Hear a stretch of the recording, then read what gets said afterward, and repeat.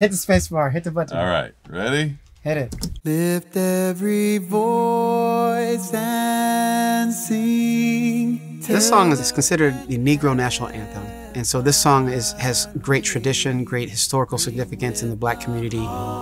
This is an opportunity to hopefully educate and bring to light a song that's 115 years old. I felt compelled to do this as an opportunity to lift my voice and to use my art in an effort to bring greater awareness of, of justice that needs to be addressed in this country. It's just a pleasure to listen to. We, we listened on uh, the Atmos system four or five different times, and you're hearing movement, and the heavens are opening, and all different things. So it's beautiful.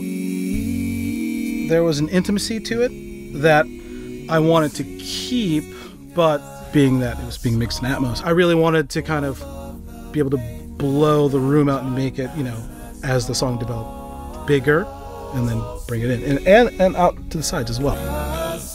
The fidelity and the fact that you were all able to take it and then again just blow it up and, and blow it out. I'm super excited. Now that I know it exists, I want to hear all my music like that. Just a lot of dimension, a lot of color, and a lot of chewable goodies, you know, that are in there. It's just a real amazing aural experience. It deserves life, and it, and it, and I believe inspires hope and inspires light.